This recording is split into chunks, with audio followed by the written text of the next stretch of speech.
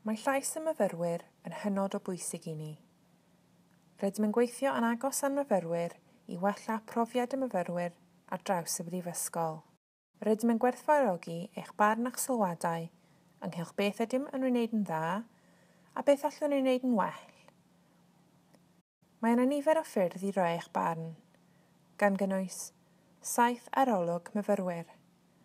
Er enghraifft, yr arolwg cenedlaethol o fyfyrwyr – a'r arolwg croeso i Gaerdydd. Neu gwerthusiadau model i roi eich barn ar eich cwrs.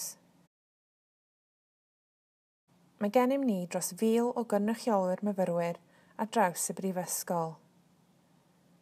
Rôl cynrychiolwyr myfyrwyr yw gwneud yn siŵr bod llais y myfyrwyr yn cael ei chlywed gan y brifysgol. Fel rhan o'n gwaith i wella profiad y myfyrwyr, rydyn yn buddsoddi dros 260 miliwn mewn dysgu, addysgu a phrofiad y myfyrwyr. Mae hwn yn rhan o'r gwaith uwchraddio mwyaf ar y campws ers cenhedlaeth. Rydym yn trawsnewid sut rydym yn cefnogi eich bywyd fel myfyrwyr, gan gynnwys ailunio'r gwasanaeth cefnogi.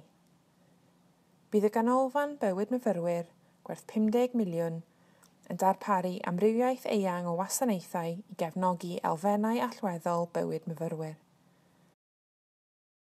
Rydym yn cynnig amrywiaeth o gyfleoedd byd eang i astudio, gweithio a gwirfoddoli dramor.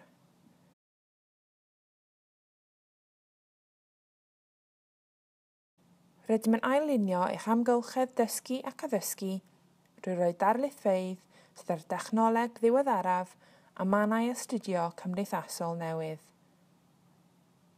Rydym yn gweithio gyda staff i wneud yn siŵr bod adborth ac asesu yn deg ac yn brydlon, ac rydym yn eich annog i fanteisio i'r eithaf ar yr adborth ag ewch. I rannu eich barn a'ch sylwadau, chwiliwch am llais y myfyrwyr ar y fewnrwyd, neu cysylltwch â thîm llais y myfyrwyr yr undeb y myfyrwyr.